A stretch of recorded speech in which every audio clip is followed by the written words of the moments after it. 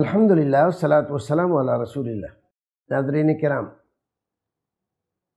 रसूल अकरम सल्लल्लाहु अलैहि वसल्लम अगर कोई वजीफ़ा बतलाए तो उसमें शक व शुबह नहीं करना चाहिए हज़ार इंसानों ने आपको कोई वजीफ़ा बतलाया वो हज़ार इंसानों का बताया हुआ वजीफ़ा एक तरफ़ और रसूल अकरम का बताया हुआ वजीफ़ा सही अहदीस के ज़रिए अगर आपको मिल जाए तो वो अकेला सब पर भारी हज़ार इंसानों पर भारी है हज़ार इंसान अपने अपने तजर्बात से बताएँ कि इस वजीफे में बड़ी ताकत है, बड़ी क़ुवत है, इससे ये हो जाता है, इससे वो हो जाता है।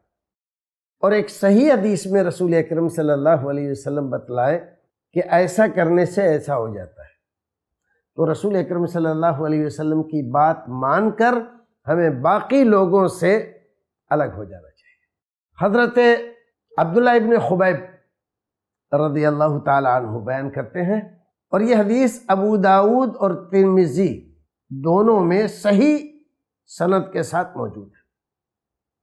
फरमाते अल्लाह के रसूल सल्लल्लाहु अलैहि वसल्लम ने मुझको बतलाया, शाम को और सुबह को तीन तीन बार ये तीन छोटी सूरतें पढ़ लिया करो।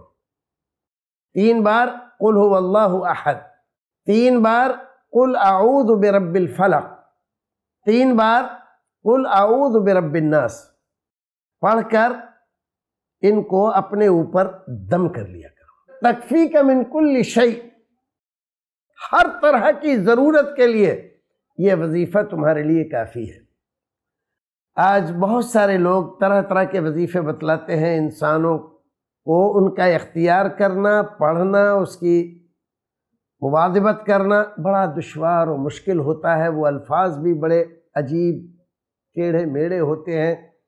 उसके मुकाबले में रसूल अकरम सल्लल्लाहु अलैहि वसल्लम का सही हदीस में ये बतलाना साहबी रसूल को कि कुल अहद कुलाउज़रबिलफ़लक कुलाउज़रबिन्नास पूरी सूरत बिस्मिल्लाह के साथ। तीन बार पढ़ के आप दम कर लें। शाम जब आप करें, तब अगर शाम को किस वक्त करें? मगरब की नमाज़ के बाद कर लें आप ईशा की नमाज़ के बाद कर लें। याद नहीं रहा तो आप बिस्तर पे गए लेटने के लिए। उस वक्त ये तीनों सूरतें पढ़े। बाद रिवायतों में रसूल अकरम सल्लल्लाहु अलैहि वसल्लम का इस पर अमल करना मजकूर है। कि आप खुद ये सूरतें पढ़ते, अपने हाथों पे दम करते और फिर उस हाथ को अपने पूरे जिस्म पर जहाँ तक हाथ जाते, फेर लेते? तो एक अमल ऐसा जो रसूल अक्रम ने साहब कराम को बतलाया।